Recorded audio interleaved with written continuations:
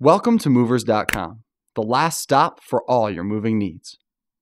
Movers.com has created a series of videos full of insiders' tips and instructions teaching you how to pack just like the professional movers do. So, if you're not sure the best way to pack your glassware, we'll show you how. Before you know it, you'll be packing your glassware like a pro.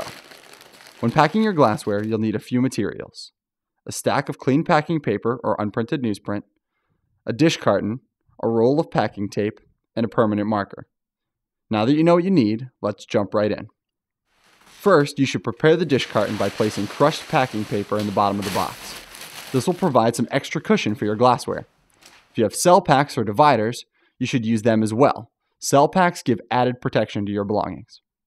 Now you can start wrapping. The heaviest pieces should be put in the bottom of the box, so start with them. Take one piece at a time, place it on its side on the corner of the stack of paper, and roll it in two or three sheets of packing tape. Use more sheets for especially fragile items. As you roll, take the extra paper from each side of the item and tuck it in. You should end up with a nice, tightly wrapped package like the ones you see here.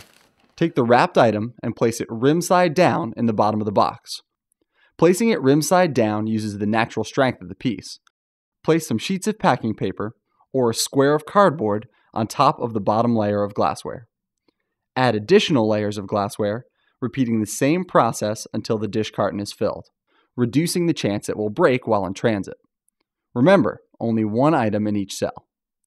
If you don't have enough glassware for one box, you can include other items like plates and bowls, remembering to put the heaviest items in the bottom of the dish carton. Once the bottom of the box is filled, use crushed packing paper to fill the spaces between items. The last thing you want is for your glassware to move around while you're moving. Then, seal the dish carton with tape. Finish by labeling the carton with its contents and room destination. By now, you should be an expert in packing glassware. Check out packingmaterials.com where you can find professional quality moving supplies at consumer friendly prices.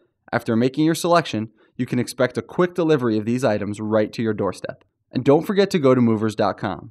Just fill out our quick quote form, and up to seven moving companies will contact you with free moving estimates.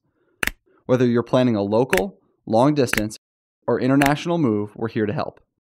So if you have any questions or concerns, feel free to contact us by phone or email us at contactus at movers.com. One of our representatives will answer your questions as soon as possible. Movers.com for all your moving needs.